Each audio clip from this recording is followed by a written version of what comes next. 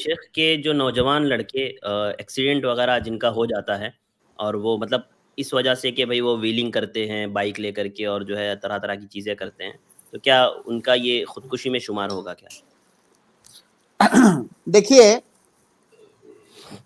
खुदकुशी में तो शुमार नहीं हम उसको कह सकते हैं कि खुदकुशी है, क्योंकि खुदकुशी में मुकम्मल तौर से इंसान का इरादा होता है अपनी जान लेने का। लेकिन अगर कोई बाइक को बहुत रफ चला रहा है तो ज़ाहिर है वो इरादा तो उसका नहीं होता है अपने आप को मारने का। अब वो जो रफ चला रहा है वो गलती है उसकी। अल्लाह रब्बुल आलमीन ने अपनी जान की हिफाजत करने का हुक्म दिया है। और वो जानबूझ करके खतरा मोल रहा है मोल ले रहा है तो वो गलत कर रहा है। लेकिन उसको खुदकुशी नहीं कहेंगे कि वो उसने खुदकुशी कर लिया। जी। जी भाई। जजाकल्ला खैर।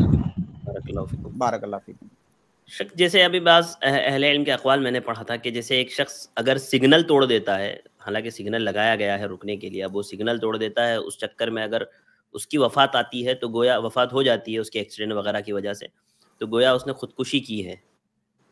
तो देखिए देखिए गोया गोया खुदकुशी किया है।